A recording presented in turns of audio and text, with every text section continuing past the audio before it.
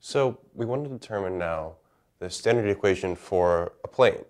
And we're given that it contains a point P and is perpendicular to a given vector n here.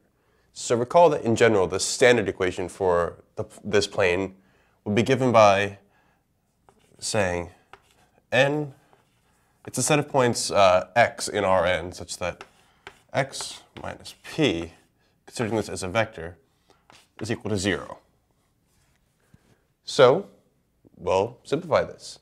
So this is in R3, so we can take x to be a vector, or a, sorry, a point in R3.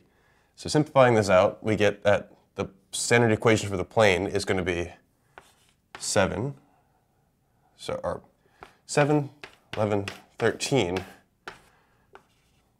dot x minus square root of 5 y plus 1 and z minus 2 equal to 0. Or even simpler, we can say it's just a set of points x, y, z such that 7x, sorry, 7 times x minus square root of 5 plus 11 times y plus 1